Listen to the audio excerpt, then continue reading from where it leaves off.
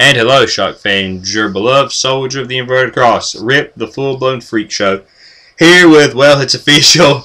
This is now the biggest action figure I own. It was Devastator, uh, and and then second went to Makuta, or actually Unicron. My Makuta custom was up there. Like I had some big ass action figures, but this guy takes the cake. He's giant. I can't even compare him to anything. Like Devastator comes to like here on him.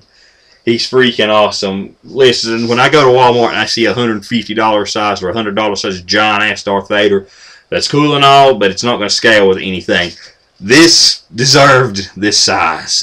Godzilla earned his giant size. I mean, I know kids want like a giant turtle, Michelangelo, or a giant freaking Power Ranger, but this is something collectors could have would have wanted, and they did want it, and I wanted it, and you wanted it, and you, you your children want it, that your unborn children want it, and they, they're not even born yet, but they want it. So now that that's out of the way, there's not a lot of paint on this guy. A lot of it went into the freaking face and stuff, and it looks really good. The tongue, and I'll get the articulation and the teeth and the tiny, tiny eyes. Trust me, my cat loves this thing. Uh, wish there could have been some paint on the spikes. Um, the tail, let me go and get the articulation because I want to take this tail off and I'll show you guys why. Because that's how I store it on the shelf. Head, it's on, uh, basically it can rotate all the way. I'm not going to Exorcist Godzilla. His mouth can open and close. I leave mine open. Both arms can get about that high, that low, and there's a wrist swivel. Wish there would have been an elbow joint, but again, at this size, it's just meant to be a big ass Godzilla legs. I can get my knee up here.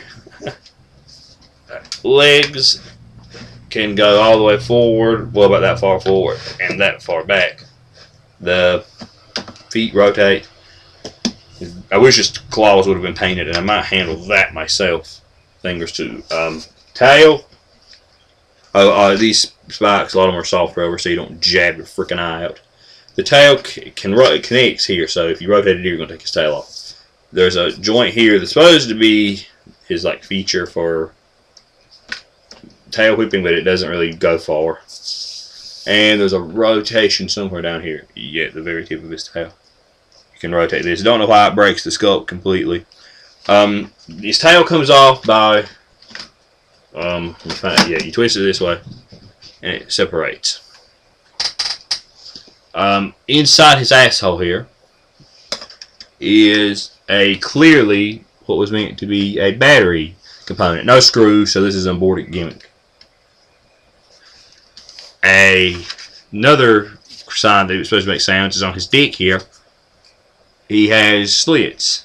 And no, these aren't gills, so his dick can breathe underwater. He is an awesome action figure. I think this guy ran about 60 bucks. I got him for like 40 for Christmas. I actually got him as a Christmas gift, but he was about 40 on clearance. And I love how the tongue is painted, all those different shades. This is a freaking awesome Godzilla. This is really the... I have a ton of other Godzilla figures. They're in the corner. The only ones I have out on display is the big-ass Kiryu and the uh, big Final Wars Gigan. This guy is the only Godzilla toy that excuse me, has really good scale. Just like huge giantness, weightiness, especially with Transformers. He looks awesome with Transformers. Um, let me reattach the tail just to give him a final shot. Would I suggest him? Yes, I've wanted him since he came out. I just haven't had the extra cash to drop on getting this one. He's heavy, pretty heavy, but he is hollow. But something this big would be heavy as hell if you didn't have it hollowed out. Um, he's a space taker. I will say that. With the tail coming off, though, it does help. But he will take a ton of your shelf space if you don't. I love this thing. It's one of my favorite figures that I own. Um, go find one because they're becoming scarce, especially if they're on clearance. I got there was one more left in the store after this one, and they're going to start if they're if they're dropping down to 40 if they drop to 20 these things are going to start selling. BBTS had them. Again, I I don't promote. I'm not sponsored by BTS or anything, but they did have it for 55, I think, plus shipping, which isn't a bad deal for something this 43 inches long, I think, and like 21 to 23 inches tall. He's big. He's huge. He's he's worth the money. He's Godzilla. He's freaking cool. And my only hope is that the next Godzilla movie that comes out, we get whoever the hell he's fighting in this size. Hopefully, King Ghidorah. I know it's not Destoroyah. I've heard rumors of Ghidorah and Mothra. They're not getting a ton of money out of me for a giant ass butterfly. Sorry, I like Mothra, but I'm not. No, Ghidorah deserve. I want a Ghidorah in this size, so him and Godzilla can stare each other down and kick each other's ass. So until next time, this has been a very, very happy, beloved soldier of the inverted cross. Rip the full blown freak show. Signing off. Farewell.